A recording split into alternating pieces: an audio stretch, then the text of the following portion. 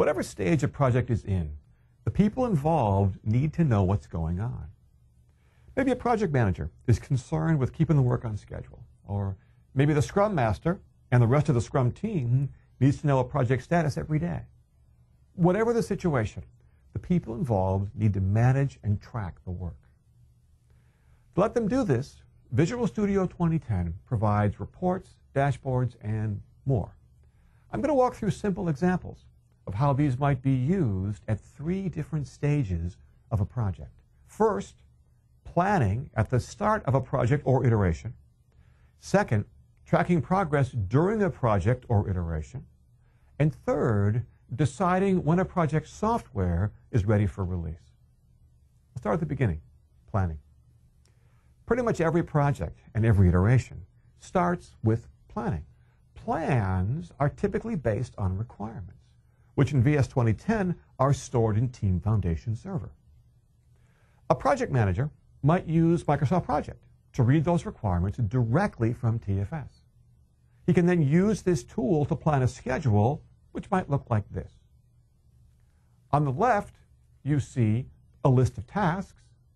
On the right, a schedule of who will do those tasks and how much time it's going to take. This is a very waterfall style model here, and so people who are more agile focused might not use this kind of thing. Nonetheless, it illustrates the idea that you can use tools like Project to work with requirements, with tasks, with planning based on data in TFS. Once a project is underway, there are lots of different things that team members might want to track.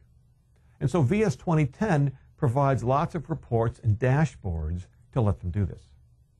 A good example is the Stories Overview Report. Here's how it looks. On the left here, you see a list of user stories. User stories is how agile people refer to requirements, pretty much the same thing. Next to that, you see a chart showing the percent of work completed for each of these requirements, these user stories. And next to that, a summary of current test results. Now think about this. What you're seeing is a range of data drawn from TFS from various aspects of the project.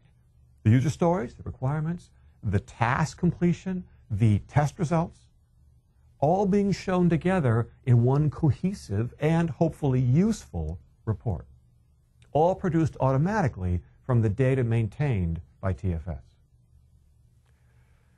Projects start and projects eventually end. But when is the code you're creating ready to be handed over to the customer? How can a team know when it's time to release their work? One obvious metric is when you've fulfilled enough of the project's requirements. But another one is the code's quality. And this is something that's much harder to judge. The VS 2010 Quality Dashboard is designed to help do this. Here's an example. You see here a variety of graphs showing various aspects of project quality. Here's the progress on test plans, for example. Looks pretty good. Here, though, is the rate of bug reactivations. A bug reactivation is a case where a tester found a bug gave it to a developer. The developer fixed the bug, gave it back to the tester, and the tester said, no, the bug is still there. This is not good. This is not good. And look at this the code churn measurement. I do not want to be on this project.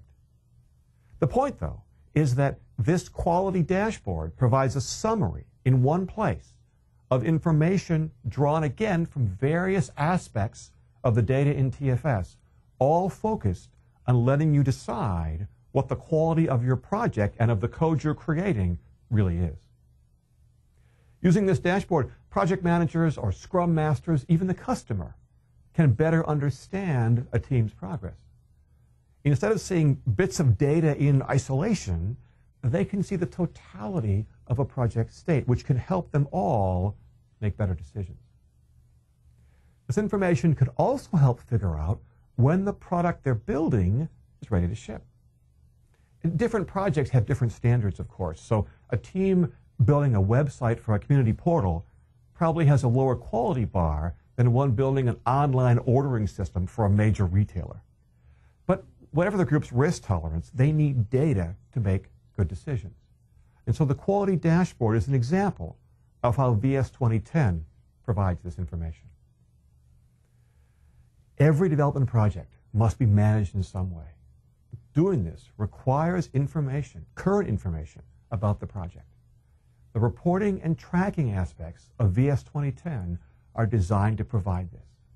Because they draw their information from TFS, the centerpiece of the process, they can provide current and complete information about a project status.